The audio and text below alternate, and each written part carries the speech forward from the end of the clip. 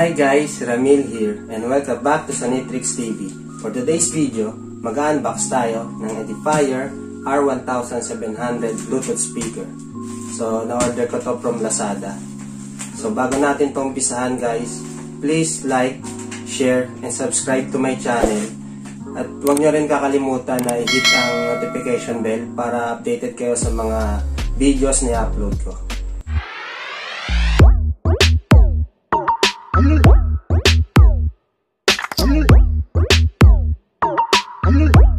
Guys, buksan na natin tong Edifier Bluetooth speaker.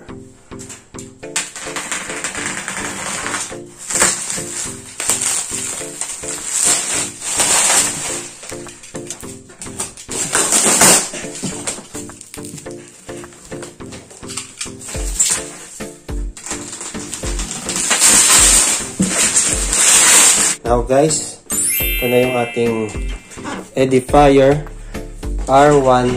R1700 Bluetooth speaker. Yan yung model number niya. So, ayan lang. Pakita ko lang sa inyo bago natin i-open talaga. Ayan yung box contents niya.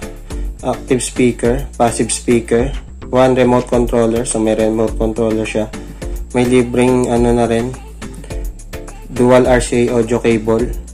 1 times 3.5 to dual RCA audio connecting cable. One speaker connecting cable. Siyempre, user manual. Version 4.0 yung Bluetooth niya. Ayan yung input niya. RCA. Tone control. Ayan. Features niya. Siyempre, yung wooden enclosure. So, yung pinaka speaker niya is wooden enclosure siya. Ayan. Makikita natin mamaya. Ayan yung power supply niya. So ito yung wooden ano no enclosure niya. 'Yun.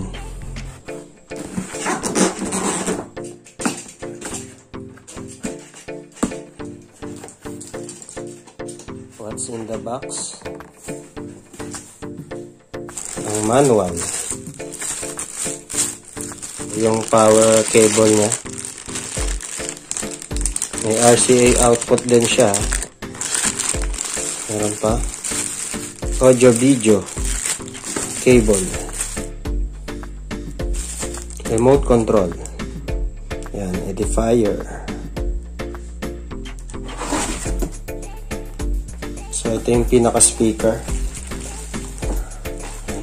Ito yung left speaker niya.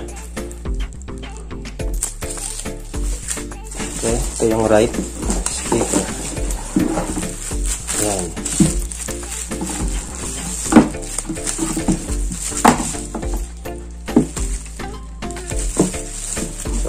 Tanggalin natin sa plastic para makita natin yung mga control panel niya. Now guys, I'm gonna show you kung ano pa yung mga ibang control panel niya dito sa Edifier R1700 Bluetooth speaker. So, tingnan natin tong right side.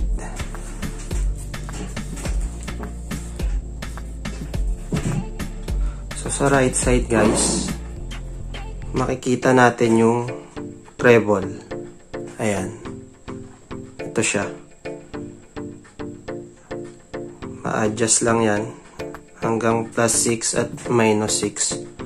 Ayan. So, ayan. Sunod guys, sa base. Ayan. Ito yung adjustment niya sa gitna. Ayan. Plus 6 to minus 6. Ayan.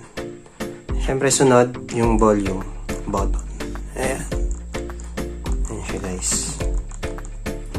So, ito yung sinasabi sa box na wooden enclosure na speaker. So, ang ganda ng forma niya. And at the back guys, check natin. Ayan. So, nandito yung power button. Ayan. Ayan. Left speaker out. Ito yung input. Ito yon. Ayan. Ko-connect to sa left speaker sa, sa kabila sa right speaker. So, ito yung PC in, auxiliary in, left, left, right, right. So, ito yung audio niya. Yung white saka yung red. So, ito yung power cable.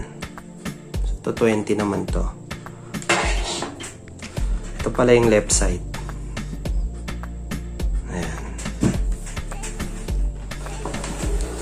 So guys, check natin yung sa right side. Ayan.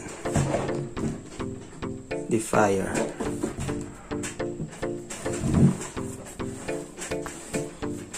At tabak niya, left speaker yung input din lang. So naras, nasa right side yung pinaka main panel niya. Doon ka mag ayos ng mga gusto mong i-ayos yung treble, yung bass, yung volume. Pero, pwede naman kahit hindi mo na i-manual. Kasi, may included siya at meron siyang remote control. Volume down, volume up. So, ito yung Bluetooth. Paano siya i... Madali lang naman i-pair yan. So, ito yung mute, yung power button. And line in. May check naman natin ngayon kung gaano kalakas yung edifier speaker. Tingnan natin.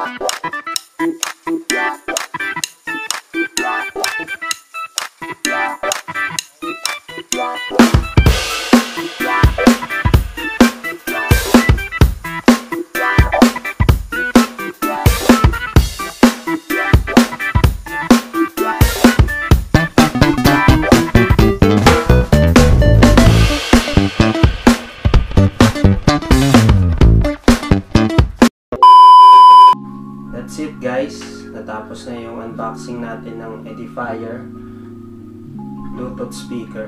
Okay naman siya. Malakas din yung sounds. Okay na okay sa mga maliliit na bahay na pwede nyong puntahan. Mabibit-bit nyo rin to. Saan kayo gusto nyong pumunta. On the go na. So yun lang guys. Abangan nyo ako sa susunod na uploads natin.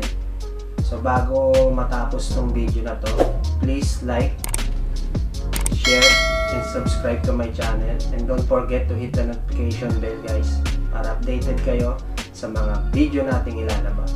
So yun lang guys. Keep safe. God bless. Peace.